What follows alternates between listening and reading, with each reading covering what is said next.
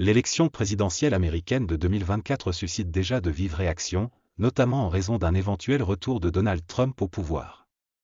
Dans ce contexte, une liste de 44 célébrités a émergé, annonçant leur intention de quitter les États-Unis si Trump était réélu.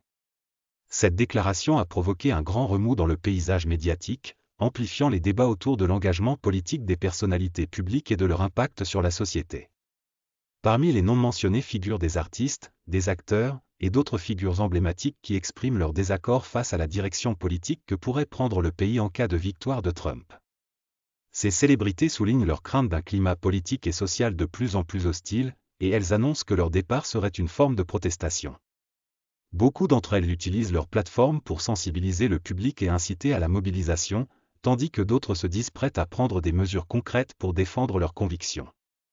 La réaction du public à cette liste variée est mitigée.